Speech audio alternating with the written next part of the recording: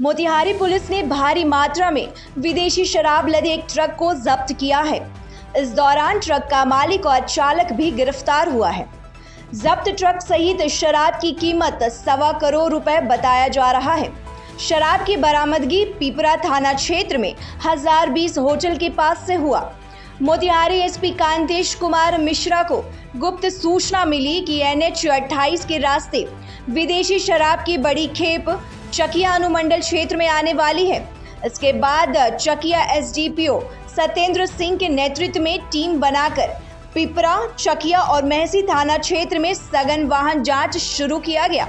इस बीच पिपरा थाना क्षेत्र के एन एच अट्ठाईस किनारे हज़ार बीस होटल के पास एक राजस्थान स्टेट नंबर की ट्रक की तलाशी ली गई, जिसमें से एक हज़ार चौवालीस कार्टून विदेशी शराब को बरामद किया गया। जब्त शराब की कीमत लगभग 50 लाख रुपए बताई जा रही है। एसडीपीओ ने बताया कि शराब लदे ट्रक के साथ ट्रक मालिक और ड्राइवर को गिरफ़्तार किया गया है।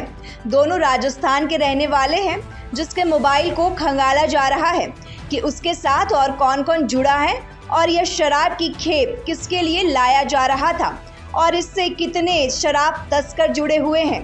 छापेमारी टीम में एसडीपीओ के साथ पिपरा थाना अध्यक्ष सुनील कुमार, धर्मवीर चौधरी, निधि राय सहित अन्य जवान शामिल थे।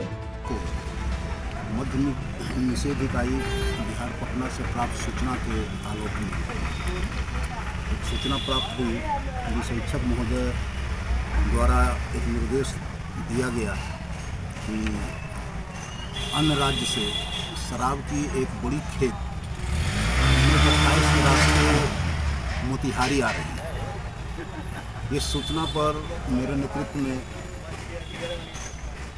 चकिया, मेहसी, पिपरा सभी थानों को अलर्ट करते हुए सघन वाहन चेकिंग कराया गया। चेकिंग के दौरान पिपरा थाना द्वारा हज़ार बीस होटल के पास एक खड़ी ट्रक का संदेह संदेहात्मक हालत में एक खड़ी ट्रक थी, जिसका जाँच किया गया और ट्रक थी, ट्रक का तलाशी लिया गया। तलाशी के दौरान उस ट्रक में अंदर छिपाया हुआ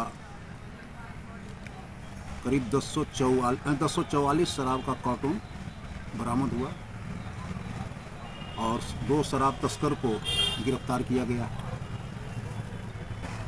कुल बानवे सौ सत्तर लीटर अंग्रेज़ी शराब की बरामदगी हुई है और दो अभी जिन्हें गिरफ़्तार किया गया है।